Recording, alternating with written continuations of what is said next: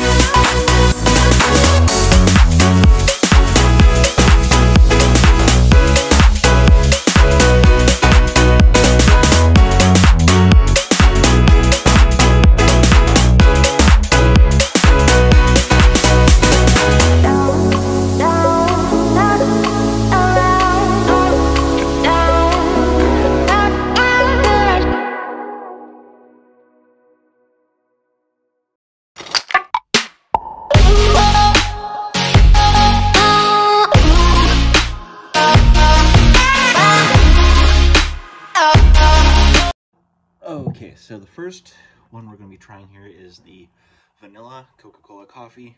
Uh, we tried the regular mocha, so I didn't end up getting that one. Uh, so yeah, I tried the mocha in a previous video. But anyway.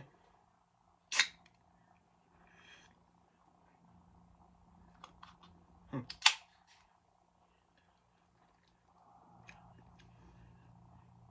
This one actually tastes quite a bit better. It's not as much or not as strong of a coffee flavor. But yeah, definitely, definitely like this one. If I had to drink, pick one out, this would probably be the go-to one.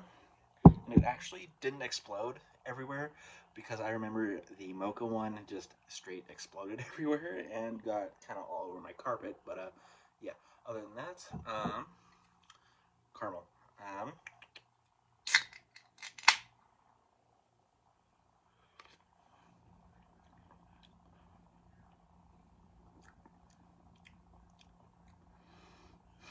not my most favorite flavor.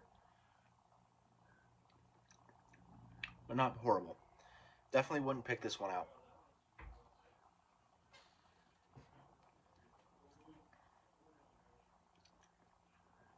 Yeah, both of the um, if you're gonna do the Coca-Cola coffee, one of these two flavors might be a little more your thing, just because these don't have such a strong coffee flavor.